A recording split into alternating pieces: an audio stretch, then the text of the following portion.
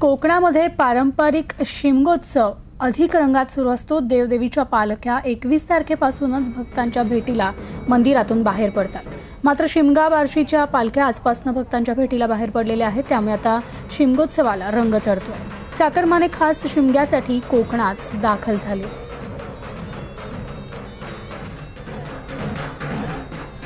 कोकणात काही ठिकाणी होळीला कालपासून सुरुवात झाली आहे मानाची समजली जाणारी होळी त्रयोदशीला लावली जाते जिला ग्रामीण भाषेत तेरसेचं होम असं देखील म्हटलं जातं. तर ती होळी आज लागलेली असून रत्नागिरीतल्या गुहागरमधील एकूण पाच गावांमध्ये तेरसेचे होम आज लावले जातात. आणि इथल्या मुंढर जानवळेसह इतर तीन गावांमध्ये हे होम लावण्यात आले. गवत आणि जंगली लाकडं व्यवस्थित मांडून त्याची होळी उभी केली जाते आणि पूजा करून ती पेटवली जाते.